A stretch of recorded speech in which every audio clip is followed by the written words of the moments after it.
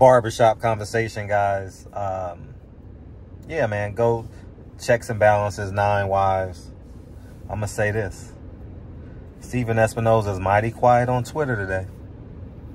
Steven, why you not tweeting today? Little Steven, why you not tweeting today? And two, I'm going to tell all y'all fighters and all y'all black fans, Al Haymon used your black skin against you. White lives matter at PBC. Stephen Espinoza has a white boss. Al Haymon has a white boss. I told you guys this pro-black narrative. I woke up. I had to tell you guys. We don't own nothing. Floyd don't own anything. Al Haymon don't own nothing but you niggas. That's it. He don't own a building. He don't own a gym. He don't own an office. He's basically convinced black people with talent to be his to to be their uh, mouthpiece. That's it. He did the same thing you could have did. Now we sitting here, October 13th. No fight dates. Errol Spence, Terrence Crawford, no date. Half the PBC roster ain't fought. I was called a coon. Oh, I'm staying on this subject because I warned you. It's been about a year. I told you this day was coming. Y'all don't follow um, uh, MSNBC money and uh, the stock market. And so I told you guys. Showtime lost 500 subscribers in Q1. Do y'all know what Q1 is?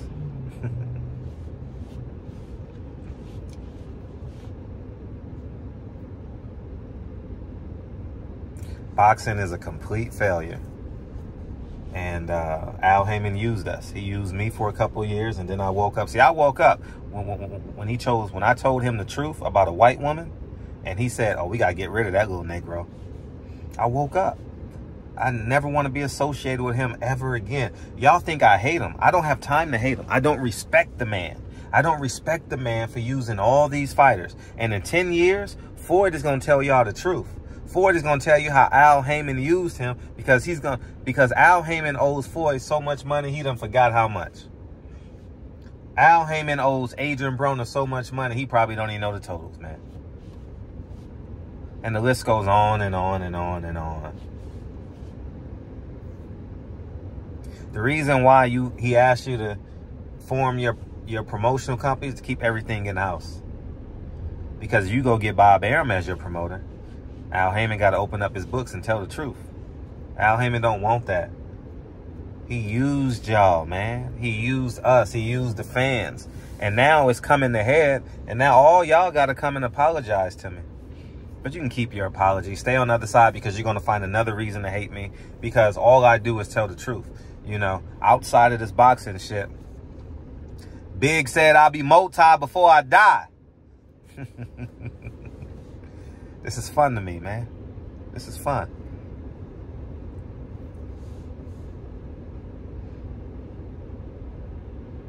Wealth is picking your kids up from home. That's true wealth. Wealth is telling the truth.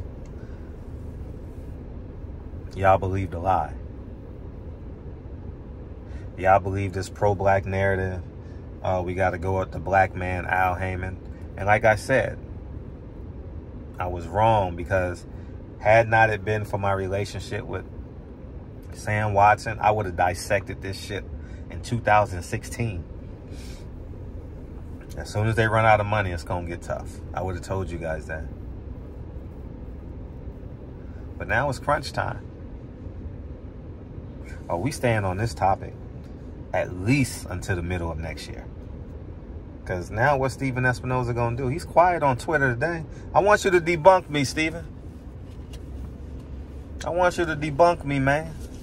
I, I bet you one, two, three. I got $3, Stephen. I bet you $3. Am I lying or am I telling the truth? And the dumb niggas in the comments said, I thought you was a multi-millionaire. It's uh, niggas always equate wealth to how much money you spend. Stupid niggas, man.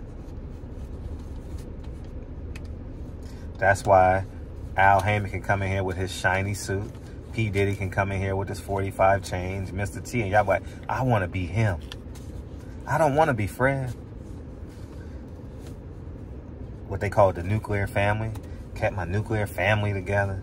Picking up the kids from school. Dre is curing the world right now.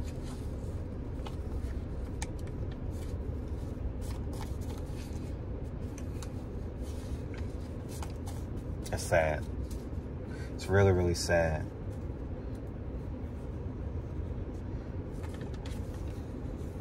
Al Haymon has a white boss, y'all. We call it partners. You call it whatever you want. You can call it partners. You can call it whatever you want.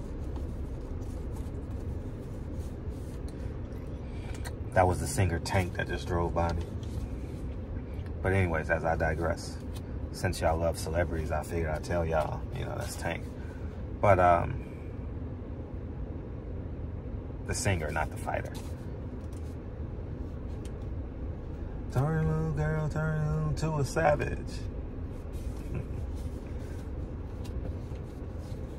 what was his name? I deserve for you to come in. Anyways, whatever he said. But um, yeah, man. It's getting rough out here in these streets, man. What Adrien Broner say? He gonna go get a job at Amazon?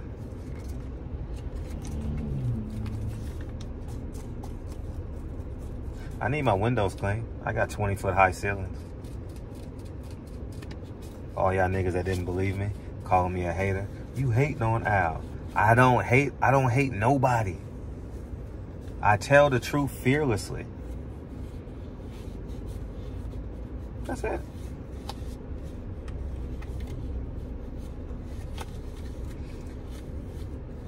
White Lives Matter. White Lives Matter at PBC.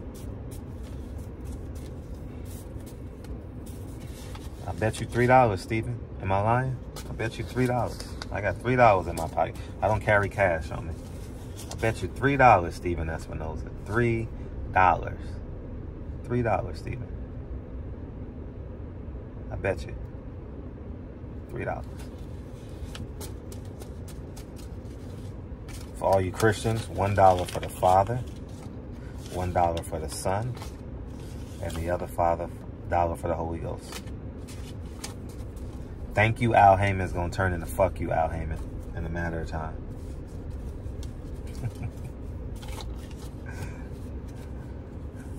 Thank you, Al Haymon will turn into fuck you, Al Haymon, real, real, real soon.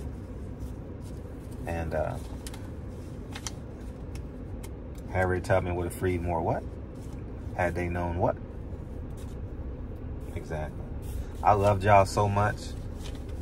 I put a hundred thousand, fifty to a hundred thousand dollars a year on the line for y'all to save y'all.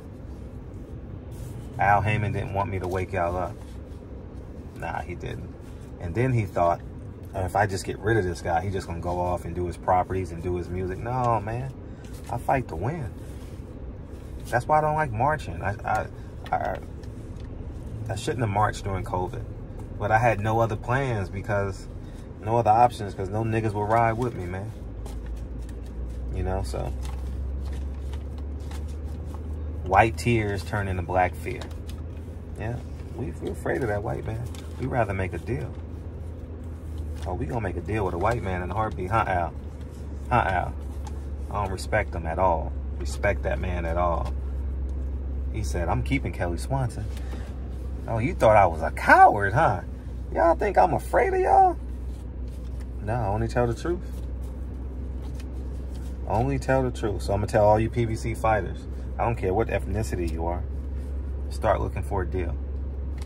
Don't listen to your manager because he's connected to Al. Don't listen to your promoter because he's connected to Al.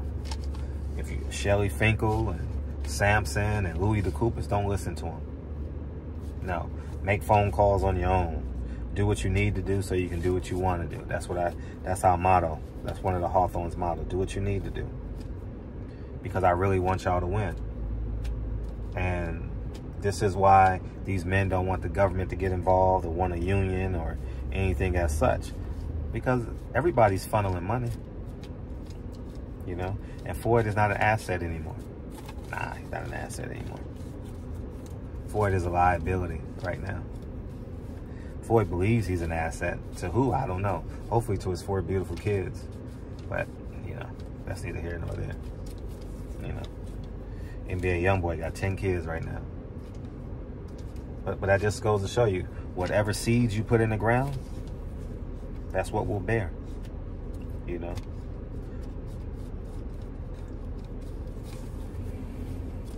Appreciate y'all, man. Stephen Espinoza. I, I, I want to hear you refute what I've been saying the past month. I challenge you to it. Three dollars. Prove me wrong. Three dollars. One for the Father, one for the Son, and one for the Holy Spirit. Al Haymon. Thank you, Al Haymon. It's about to turn into fuck you, Al Haymon. In three, two, one. I'm gone.